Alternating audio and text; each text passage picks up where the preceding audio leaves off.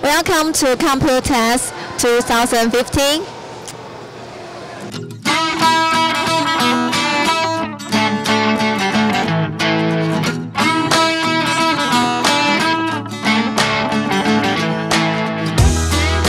It's just the basic desktop background that you'll start in. If you want to get to the start button, you just click down here in the lower left-hand corner, and what you'll see is kind of a combination of the best from Windows 7 mixed with the best from Windows 8. On the left-hand side, you'll have the most frequently used applications, and then at the bottom, you'll have the system pin. So this is things like File Explorer. You can power on and off and get to settings really easily. You also have the All Apps button here. If you came from Windows 8 and 8.1, you know it was kind of confusing because you had to swipe up from the, the, the start menu and kind of filter through a weird zigzag. But now we have them all listed together alphabetically, um, modern store apps as well as Win32 programs, all in one consolidated list.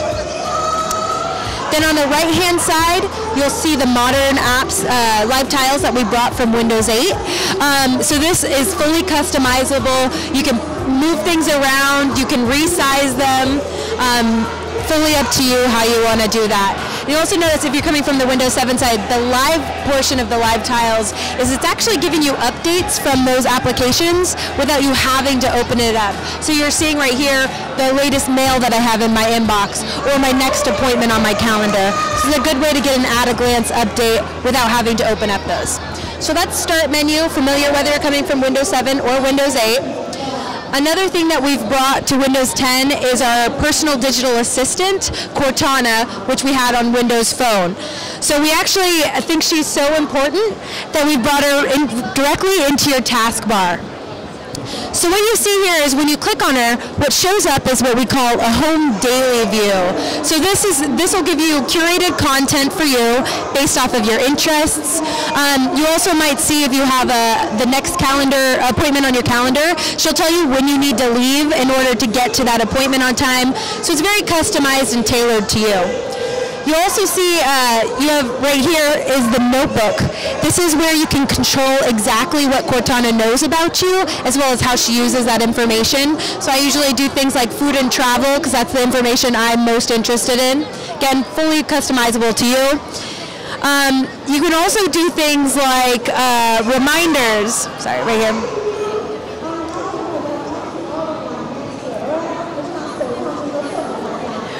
You're able to set reminders based off of time, place, or uh, person. So time is something normal. Remind me to take my vitamins at 9 a.m.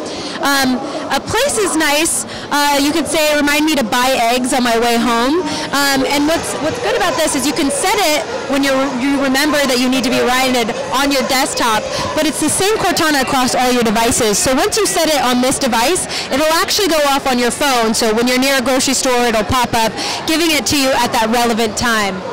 And then the other nice thing, version of reminders that you can set is based off of a person.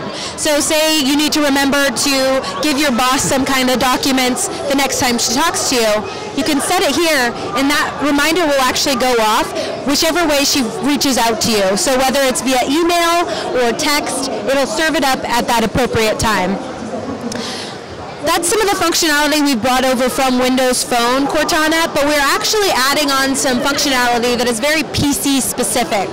So I can't do it on this screen, but you can um, you can use her to uh, search your content across the web, across your OneDrive cloud storage, and across your Windows 10 devices. So say you're in a meeting or in the office and you need to pull up a document on the charity auction. All you have to do is type that in or speak it into this bar, and it'll pull up all the documents you have from that. Um, so that's just, that's just one example of the things. We also imagine a world where she can help you learn how to use your device better. So say you don't, you're new to Windows 10 and you want to learn how to project your screen, you can actually ask that in this it, right here directly, and she'll tell you straight from that bar. So we're still building off of some of that functionality for Cortana, um, but we are she's your digital assistant that will help you be more productive and do more. So it's a quick overview on Cortana. Okay.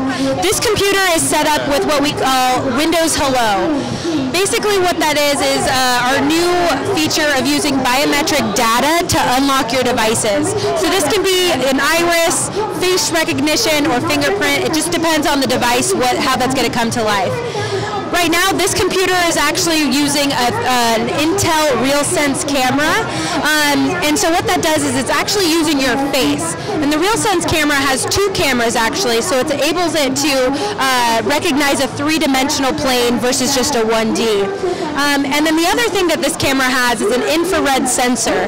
This means it will be able to recognize your face regardless of the lighting conditions, which is really good. So you can see it in the morning if it's really bright, or even if you're laying in bed at night, it'll still work. So uh, maybe one of you guys want to come up right now and try to unlock it with your face? Yeah? All right.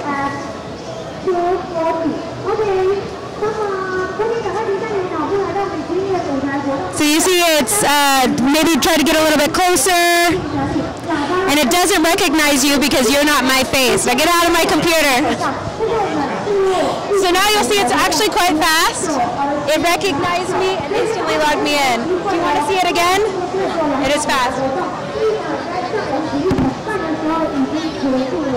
We have to cover it up because it's so sensitive. It'll actually won't walk because it sees me there. All right, so doing it again. It's looking for me. And there it goes, right back to the thing. So it's fast, it's nice, it's more secure than using a password. You don't have to worry about changing it. Um, and if you're like me, you use the same password for like 90% of your uh, accounts, which is not a good thing. So it's a lot, it's a lot more secure in that in that regard. All right, so what you're seeing here is our new browser called Microsoft Edge. There's a few really cool things that we've done. It's completely built from the bottom up, um, and it's our new one that we're bringing to Windows 10. So what you're seeing right now um, is actually a website. Uh, you'll see that Cortana, we've actually integrated her into the browser. So this is a, a restaurant uh, web page, and you'll see up here at the top, Cortana shows up saying that she can help you. So what I'm going to do is I'm going to stand up here and click on that. And what she's pulling up is actually a map of where the restaurant is, as well as directions on how to get there. She also gives you, oh, she also gives you information like uh, Yelp reviews, what kind of food is the best here, and some images. So this way, I don't have to worry about navigating this website, and I'll get the, all the information directly here. So another really nice thing about our new browser, Microsoft Edge, is the ability to write directly on a web page. So if you go up here on the right-hand side, you can click on this, and you can click on a different, you can choose the pen color that you have here, and you can write directly on the page. I'll do hi for now. And then you can either save it up here, or you can share it. So this gives you an easy way to mark it up and share with people. So imagine you need to send someone your order, um, or if you want to uh, make some changes to some kind of dress, you can easily communicate that and share it over to your to your people. Um, so that's the main one of the new main features of Microsoft Edge. We also have what we call the new tab page. Now you might not realize, but this is actually content that is completely personalized to me. Um, what you'll see here is you have the top sites listed up here at the top. You generally only visit about five to six sites anyway, so this is an easy way to jump between those. You also see this featured app section. This is showing me recommended apps based off of my interests. So again, coordinating with the interests that you have set on Cortana, as well as uh, recommendations based off of your current library. You also see things for the current location you're in. And then the rest of this down here is actually content that's customized again to those interests. So you have videos and you have articles based completely around me and curated for me. So that's a quick introduction for, for Microsoft Edge.